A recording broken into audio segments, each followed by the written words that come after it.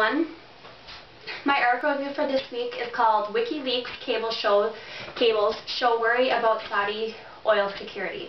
And pretty, pretty much what is, it's about is on February 4th, 2006, Al-Qaeda suicide bombers um, attempted to blow up Saudi Arabia's um, Abqaiq oil processing facility. And um, when that happened, uh, U.S. officials and the U.S. Department said that um, said that the security was um, well prepared for the incident, that everything was fine, and that everything was handled well. And then now, um, the secret U.S. State Department cables obtained by WikiLeaks, um, they um, said these cables said that the security around the facility and the security in the area was not, did not handle it well and was ill prepared and um, they were lucky that nothing serious happened. Um, WikiLeaks obtained this information through secret U.S. Department cables and then they shared it with um, McClatchy newspapers which then shared it with everybody else.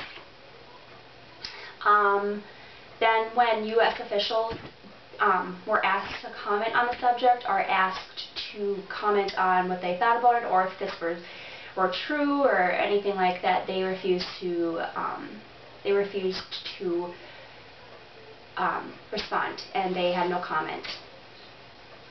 And then later on in the article it goes on to say about how five years later they still feel that um, everybody still feels that there is a threat to suicide bombings and other things like that happening to Saudi Arabia's oil fields.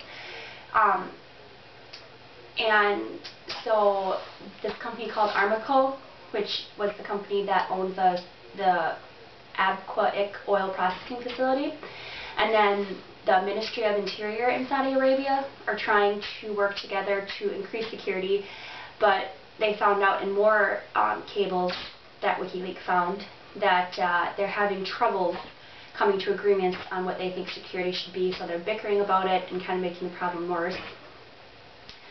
And then, um, and then also later on in the article it goes on to state that there are a couple more worries because they feel that some of the um, employees of, at the Abqaiq oil processing facility could be related to terrorist groups and things like that, but that's all just speculation. And overall, the article ended with um, the U.S. is trying to get um, control on it and trying to um, get security better increased and things like that. Um, references that I made from the communications class in the book to the article were um, one reference I came up with was um, the word avoidant, which like I found on page 261 and page 270. And avoidance is characterized as an unproductive conflict strategy in which you take mental or physical flight from the actual conflict.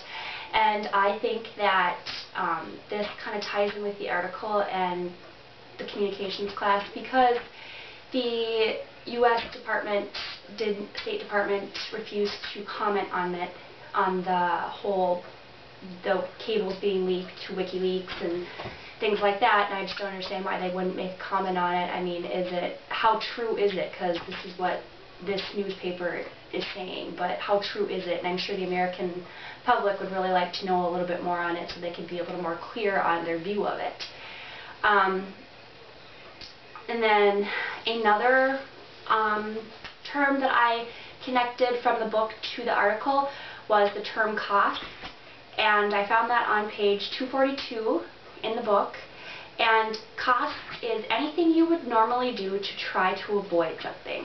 And I feel like um, the the whole article I just feel like is costing everybody every ev costing everybody something in some sort of sense because it's costing the American people because the American people are like, great, is that um, what's going to go, what's happening with our with the oil processing uh, oil processing facility in Saudi Arabia, and then on top of that, it's costing the American the American government because they are refusing to they're refusing to comment on anything.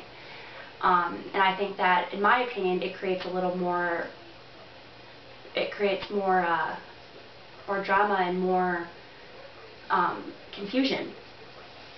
And then my third one was um, connection between the book and the article was effect, which I found on page 10. And effect has a definition of the outcome or consequence of an action or behavior.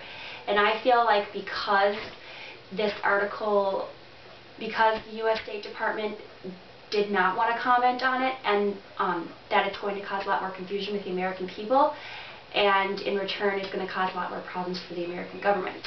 And then also another connection I made um, to the word effect um, related to the article was that because the Aramco company and the Ministry of Interior are fighting and they can't come to, and they're bickering about not coming to uh, an agreement on how security should be upheld and improved throughout the facility, um, I feel that that's going to affect the facility because in the long run, if they're bickering about this, nothing's going to get done about handling it and increasing security.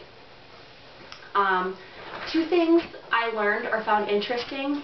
I found that I thought it was interesting to try to connect the text um, textbook to the article that I found. I found it a little difficult at first, but once I started getting into the swing of things, I realized that um, that you can make a lot of connections to the words in the book and um, outcomes and concepts of the book to the articles because communication is everything. Um, and it's everywhere and it kind of all ties together. So by doing this assignment, I kind of tied the textbook and like communicating through newspapers, things like that together for me. And then another thing that I've learned or found interesting was I still don't understand why the U.S. officials would not respond to questions about the cables that were leaked to WikiLeaks. Like, why would they not respond to it or at least give some sort of statement? And that is my article review for this week. Um, thank you for listening and have a good week.